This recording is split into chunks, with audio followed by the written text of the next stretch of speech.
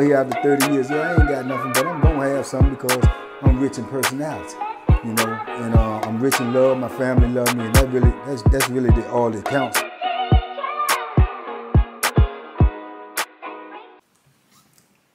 Shout out to everybody out there on Team Banky Pound, man. Appreciate the love.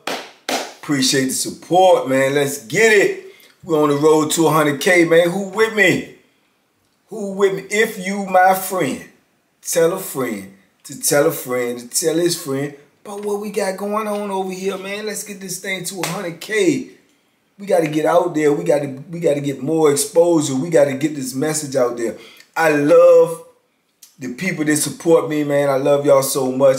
And y'all doing a great job, man. We went and got the 60K, uh, 7 million views. We wouldn't have got there without y'all, man. So y'all motivate me. Y'all make me go, man. So let's get it, man. We got to get 100K, then two, three, four. We got to get a million, two million, and so on and so forth. This is a message that need to be heard. This is the real stuff about what's going on in prison, man, so we can keep these young fellas out of prison. You know, if it scares them, if it wakes them up, if it, you know, gives them some type of, of knowledge that, that make different paths in life, that's what we want to do. So every time I see a young fella out there to pull up on me like the young dude in the barbershop and things like that, it motivates me to keep going because I know if it just help one person, that's good enough. If it help more than that, so be it. More power to it, man. But that's what we doing. This is a movement. Make no mistake about it. This is a movement. We out here trying to save lives and change lives. That's what we trying to do. So salute to everybody out there on TBP. Salute to everybody who support me. Salute to all all the young fellas out there, man, that watch me. I appreciate it. I appreciate the love. If you see me in the streets, holler at me. Holler at me. You heard me? So, man, let's go, man. We're on the road to 100K. Uh, I'm trying to drop these videos for y'all. Before I go to Vegas, I'm going to Vegas, Las Vegas for my mom's 75th birthday. Mama Pam, love you so much. First time in Vegas, and um, can't wait. So I'm trying to get some of these videos out here to y'all before I go. I'm gonna try to vlog when I'm out there. Even though y'all ain't showing me much love for the vlogs. I ain't getting that many views for the vlogs. I appreciate everybody who did watch it though. I appreciate everybody who gave me comments in the vlogs. I'm gonna continue to do the vlogs until y'all just, you know, if y'all ain't supporting it enough, I'll leave it alone and go back to something else. Doing these 33 years of prison stories. But I just want to make sure y'all engaged. I want to make sure y'all entertained. I want to make sure y'all are getting something out of these videos. So you got to let me know in the comments. Like, comment, subscribe, share. Share these videos on all y'all platforms, man. If it's uh, uh, social media, Facebook, and all that. You know, I don't really know too much about Facebook. I'm kind of green. But I heard Facebook is a great platform. I got to get the time to find out how to actually operate it so I can get on there as well. Just to put this message out there as much as possible. And if you follow me here on YouTube, man, follow me on Instagram, man, Boxing Bank, man, the official page of uh, Banky Pound, man. Y'all go check me out on Instagram. I post every day on Instagram. No matter what it is, I post something every day on Instagram. So y'all go follow me. I ain't got 10,000 followers on Instagram. How do I got 60,000 over here don't even got 10 over there? If you rocking with me, you rocking with me. Who you with? Huh? Let's go, man. Let's get it. Um, anyway, this story right here, man, I was thinking about this cat the other day, man, because I had some dudes that come over here uh, and chill with me for, uh, you know, Memorial Day weekend, man. We sat out there and reminisce and had some good old fun. Posted a little shot of that on my Instagram, so y'all go check me out. But um, it just made me, you know, think about some things, and we was talking about different people, man. So I wanted to hip y'all to this dude named Bolo. Bolo. Now, when you heard the name Bolo, when I heard the name Bolo, the first person come to my mind is the big Chinese dude from um, all the Bruce Lee movies. His name was Bolo. You know, if y'all ever watched a Bruce Lee movie, y'all know him, man. He was Bolo. You know, yeah, big old Chinese muscle dude. Now, this Bolo was a short, black, uh, stocky, strong, crazy dude named Bolo that was in prison with me. I don't know if Bolo was locked up before me or what, but I know he been locked up a long time because I've known him for years, decades. But Bolo is just as crazy as uh, you can ever imagine. He's a different type of crazy though. He's really a good dude, and I know y'all always say I always say good dude, and I tell y'all things about that he did or do that y'all say ain't so good. But you got to know these dudes. You got to know their heart. You got to know their intent. You got to be around them on a regular basis. You can't just judge a person for their actions. You got to really know them. And their actions may not be indicative of who they are. It may be the circumstances that make them act the way they do. But Bolo is crazy.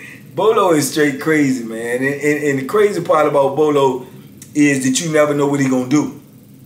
When he do it, it's spontaneous, it's unexpected, and you be like, what? You know, Bolo just would come out the blue and do some stuff, man, to just be like straight shock value, and it, it, it'll just mess you up. And um, I remember when I first met Bolo, I was already surprised or intrigued about his voice. And when I tell you he got a deep old, uh, what you call it, Barry White voice, he got a deep Barry White voice, man. He's short, he's stocky, he got a big belly, but he big up top. He lift weights every day.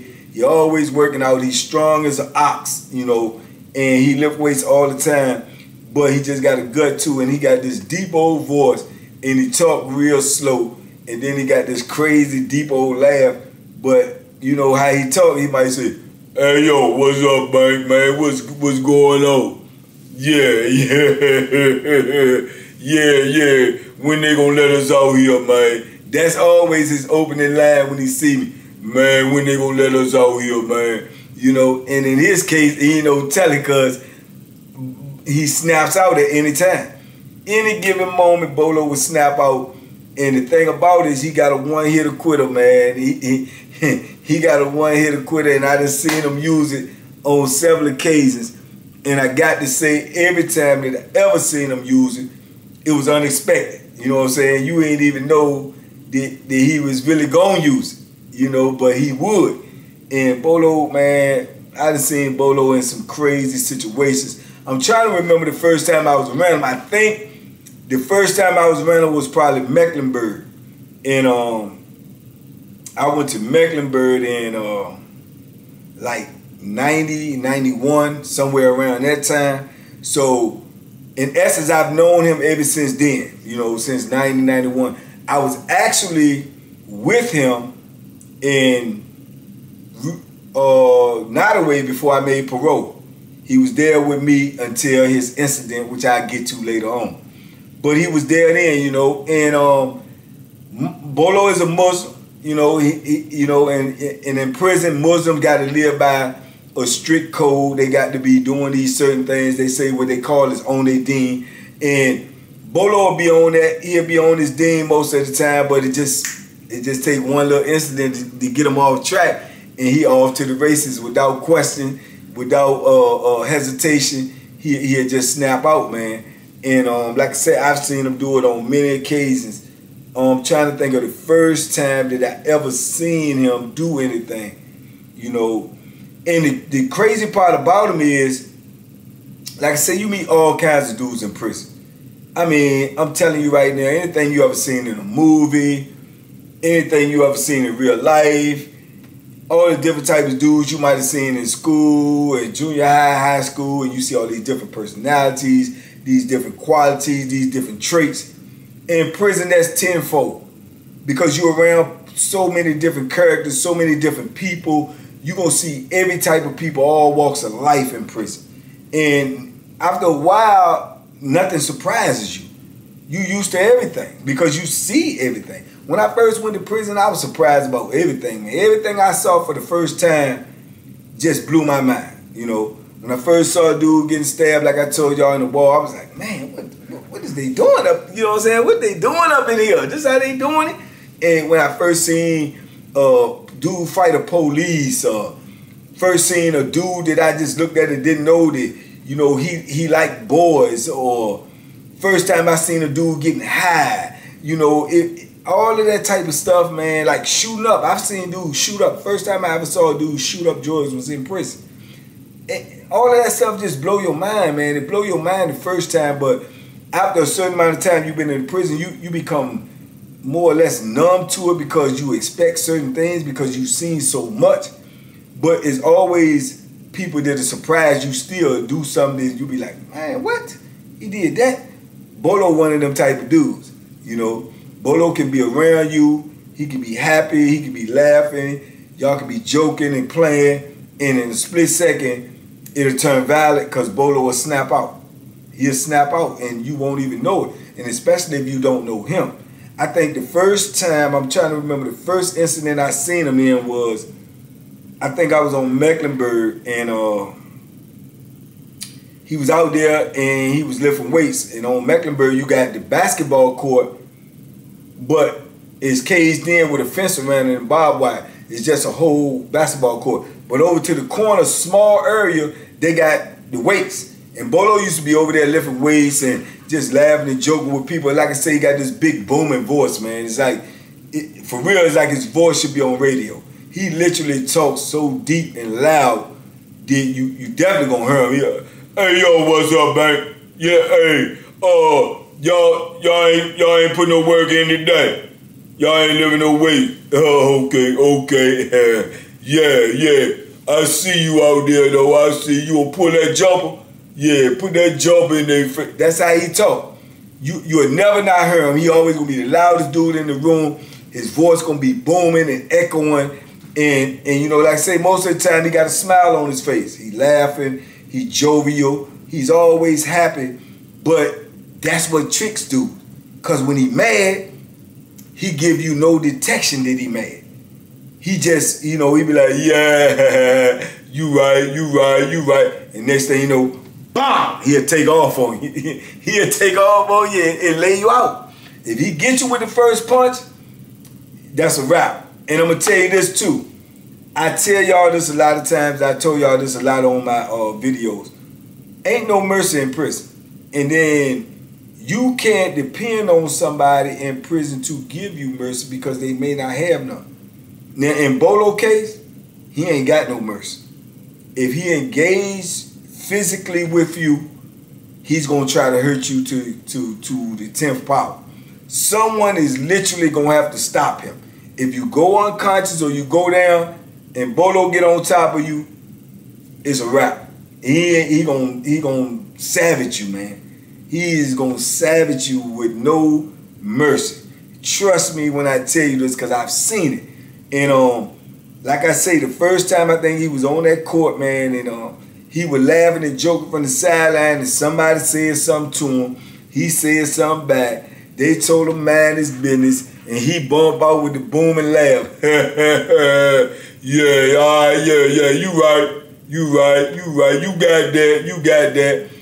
And as soon as the game was over, and dude was on the sideline wiping all the sweat off his face, just talking and like, yeah, man, whoa, whoa, whoa, yeah, yeah, man, yeah, man, we should have won, but you know, he's shooting all them old ugly jumpers, messing the game up. I ain't want to pass the ball, woo, woo. And Bolo walked right over to him and tapped him on his shoulder, and he turned around. As soon as he turned around, boom, Bolo hit him, dropped him. I mean, one hitter quitter. And like I told you, a big dude, he's strong. Bolo probably weigh about, man, Bolo might be about 260, 270. Boom, drop. Dude fall down, everybody out there on the court, they looking around like, what it? And Bolo just get on top of him and boom, boom, boom, boom, bam. I mean, just beat him, man. He just savage him. Blood is coming from everywhere. I mean, it, it's like some stuff you see in a movie. As his fist hit his face, you see blood just pop up, pop up, and he just bam, bam. And the dude was unconscious. He was just unaware. You know what I'm saying? Just, just out of it. And Bolo just pounding him, man. And it took a dude to grab him and say, that's enough, Bolo, that's enough. And pull him up off of him. And Bolo said, yeah, yeah, yeah, funny. yeah, yeah, we, yeah, we all laughing now. and, and dudes is looking at him like, man, this cat crazy. Cause that's definitely how I was looking at him. I'm like, man, Bolo crazy. so Cause dude said some stuff but I thought at the time it was all in, you know, they just they just Jones on each other. They just talking trash. Nah, not the Bolo. He don't want to be embarrassed. He don't want to be made a, a, a, mockery. He don't want you to, to shine on him or what he would call you trying to shine on me, getting loud in front of other people. He ain't going for it. And he'll laugh and act like he all right with it. But man, you better watch him because I'm telling you, he was he would walk up on you and he would take off on you without you know. He'll walk up on you, be like, yeah, hey, look, check this out. Boom! And take off on you. And take off on you, man, and lay you out, man, and he would get on top of you and beat you down to make sure you ain't gonna get up and do nothing to him. Straight like that. Bolo, one hitter quitter, man. Yeah, one hitter quitter. He got one. And you got dudes like that, man. They got that power that if if they hit you one time or they hit you first, it's a wrap. You know, I don't care who you is. And you know, it's the same in boxing. Every everything you know, every every man is made the same. The heart made different, but every man is made the same. You know, if you get hit right, I don't care who you is. Tyson, uh, Tyson Fury, uh, whoever you are, if you get hit right, and especially if you get hit unexpected, it's a wrap for you. You know, it's a wrap for you. This is why boxers train so hard and you see all these boxes in the ring and then you say, okay, you got punches, just like we just had the tank fight with Rolly. Okay, tank a punch, Rolly a punch. But if you get hit right, I don't care who you are, you going out. Is no man immune, or you can build up your muscles, you can build up your stamina, you can build up your skills. You cannot build your chin. There's no way you can make muscles in your chin. If you get hit right on that button, man, it's night night for you. It's straight night night for you. I don't care who you is, but this is why boxers train. They train not to get hit. You see what I'm saying? The, the, the art of boxing is actually the, the, the definition, the real root word is a pugilist. That's what a boxer is called, pugilist. If you ask a boxer what is his profession, he's a professional pugilist. You know, and when you're a professional pugilist, the, the sweet science is what they call boxing. The art of boxing is to hit and not get hit. So when you get two dudes in there that's punches, the one that has the best defense is going to be the one who win because that's going to be the one who avoid the big punches. That's what happened with Tank and Rolly. Tank is a knockout artist. Rolly is a knockout artist. But Tank defense and overall skills was better than Rolly's. That's why Rolly went to sleep. You see what I'm saying? Even though all the trash he talked, because he's thinking about how hard he hit. Oh yeah, I just hit him one time. I hit him one time. It's over with. It's gotta be over. Yeah, he take ain't nothing. A one punch. Yeah, you got to land that one punch though. You got to land that. You can't just go in there and say you gonna hit somebody. Ain't nobody. Uh, you know, you might get hit a regular person because they're gonna be unaware. They they not gonna know how to slip, bob, weave, and all of that. Parry the punch. They not gonna know all of that you might do that to a regular person. Yeah, one punch, he out of here. But you're not to do that to somebody who's trained not to be knocked out. You see what I'm saying? Not to be caught with flush shots. And see, in Bolo case, man, Bolo had a one-hitter quitter, and most dudes that he take off with is not prepared. They're not ready to be hit. They're not expecting to be hit. They're not prepared to be hit. But messing with Bolo, guess what? you gonna be hit. you know what I'm saying? Cause he gonna take off on you, man. And I'm telling you, man, he beat that boy so bad.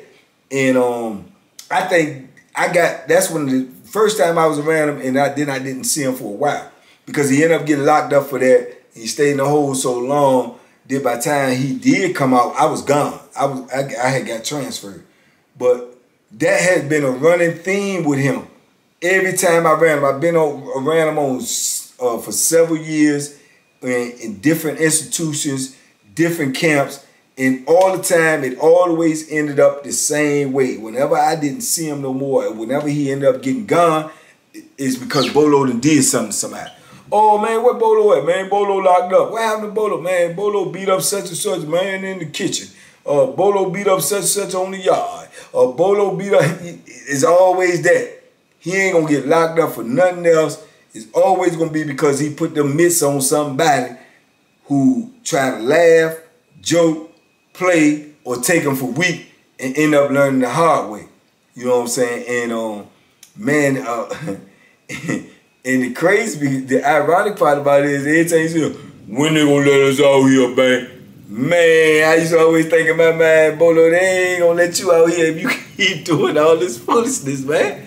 You know, but I used to always say, I don't know, Bolo, I don't know. Man, yeah, man, tie. How long you been locked up there? How long? And I tell my be like, man, yeah, me too. Me too, man, Bolo. They couldn't do loose though. Yeah, they get ready to do something. Yeah, they get ready to do something, man. I'm ready though. I'm ready. You know, and I used to be like, all right, Bolo, that's what's up. That's what's up. But he won't ready.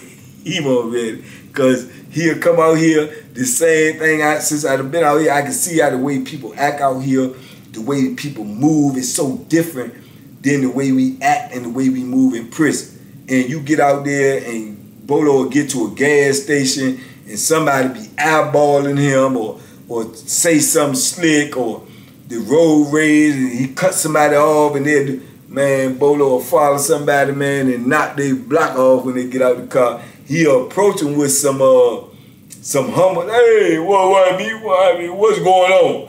Uh bam and take off on him. You know what I'm saying? They be somewhere laid out in the street, Bolo be locked back up. So, you know, I, I ain't trying to put that on him, but I, I, I hope that wouldn't happen. But from what I know of him, that's a very, very high probability, man. that's a very high probability. Cause like I say, man, I, I done seen him punish some dudes, man, on some crazy stuff that you wouldn't even expect him to do it on. And I'd have been in a pod with him. I was in a pod with him, I think, on uh, Sussex 2. I ended up being in the pod with him. And I remember he was in the pod with a little young dude that I know, right? And that I had been around. So the young dude asked me, pull up on me, said, man, and this young dude was thorough. And when I say thorough, I mean he go hard. He he ain't gonna be taken advantage of. He ain't no sucker. He, he was a real dude, but he just was a young dude. But he gonna fight for years, and he had enough size on him and enough heart that he gonna fight hard. Period. You know what I'm saying? So he ended he ended up getting moved over there. He get put in cell with Bolo because Bolo had the only single cell. And Bolo already, when he come in there, Bolo started laying there and law to him. Uh, hey, yeah, uh, yeah, you on the top, man, and uh, this cell right here, man, you know, is all about respect. You know, this how we do it in here. Uh, I don't tolerate no disrespect, and I ain't giving out no disrespect. That's just how it is, straight, straight like that, right? But uh, you a young man, be all right, man, my man, my bolo, and ooh, and give him the whole spiel.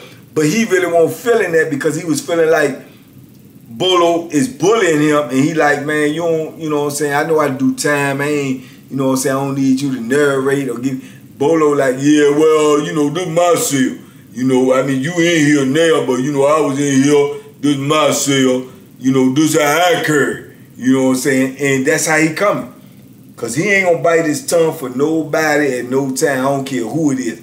So the young dude pull up on me. I'm like, man, what's up with this dude, Bolo, man? You know what I'm saying? He up in there talking all this crazy stuff, and he want to talk all night, and his voice so loud, and this, that, and the third. I said, look, man.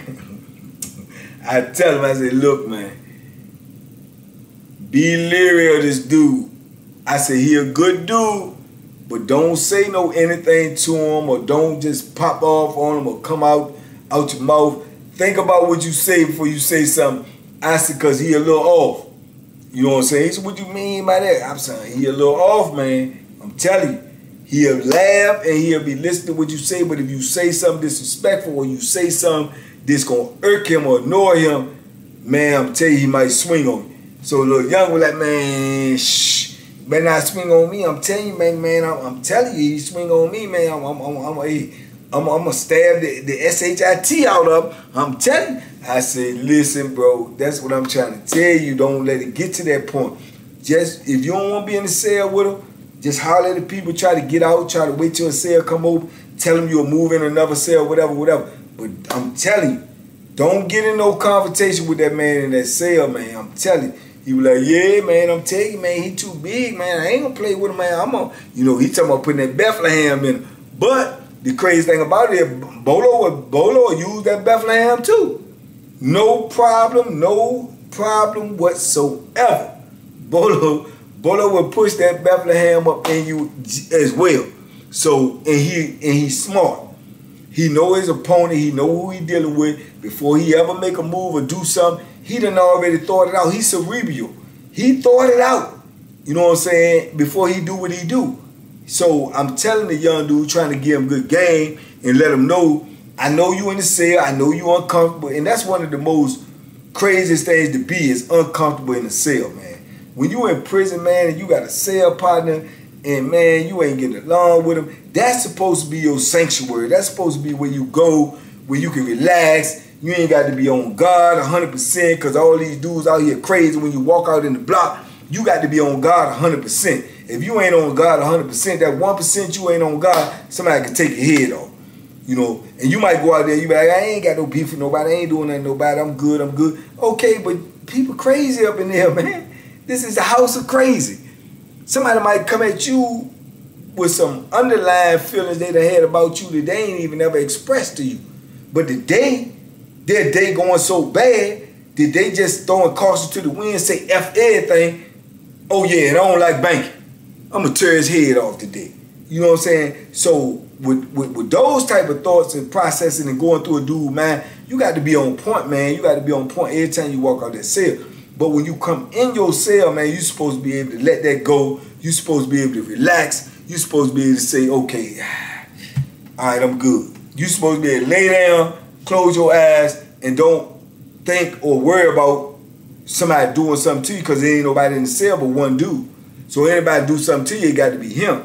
So you supposed to be to the point where you comfortable with the, your cell partner, the dude that's in the cell with you, enough to lay your head down and the rest and the rest easy.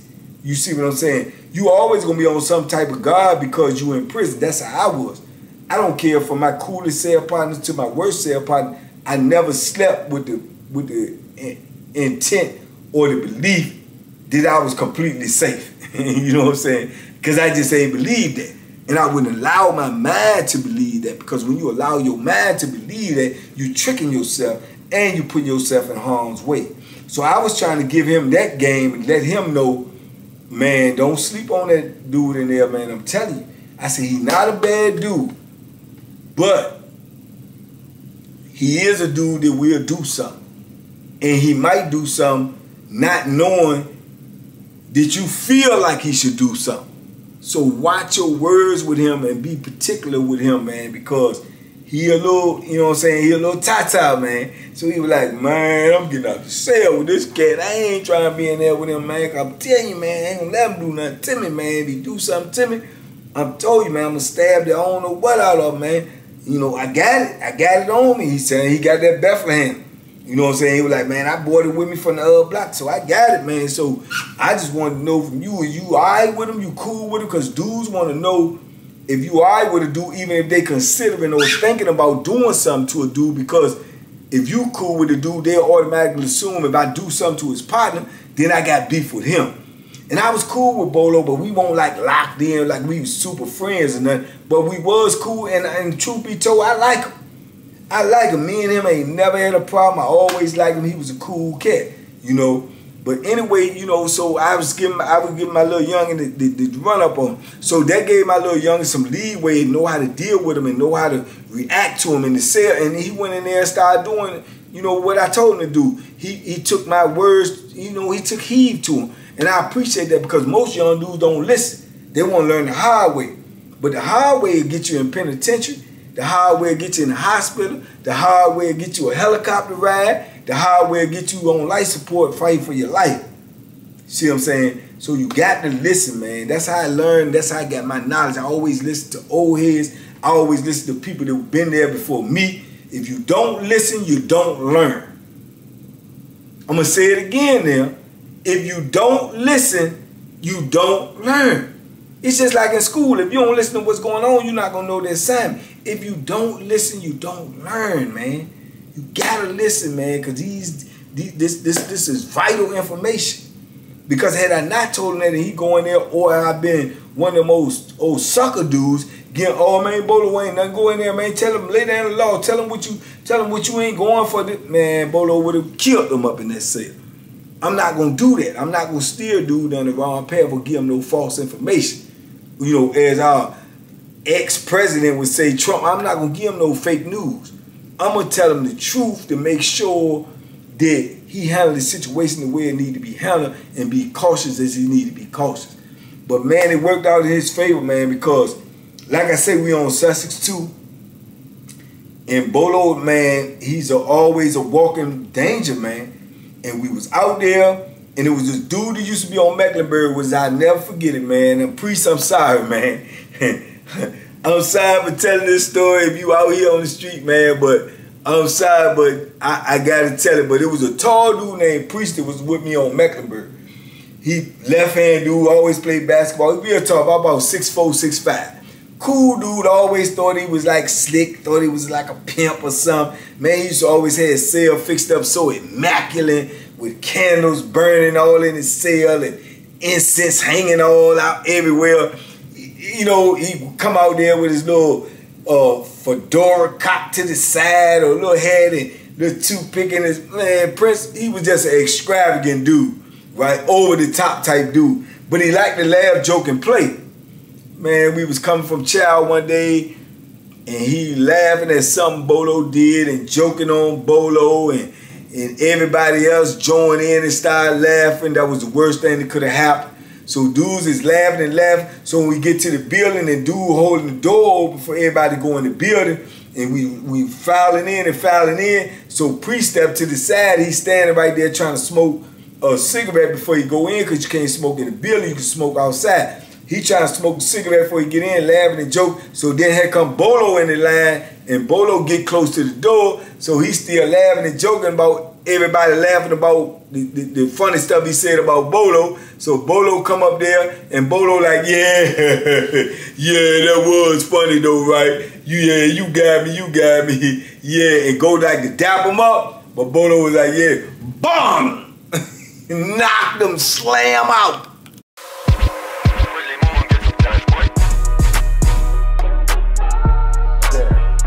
Bacon special. Yeah. Pure delicious. Pure deliciousness, man. My name is uh, Banky, man. Everybody calls me Banky. That's the name that I got from my grandmother when I was young. I'm coming out here after 30 years. Yeah, I ain't got nothing, but I'm gonna have something because I'm rich in personality. You know, and uh, I'm rich in love. My family love me, and that really, that's that's really the, all that counts.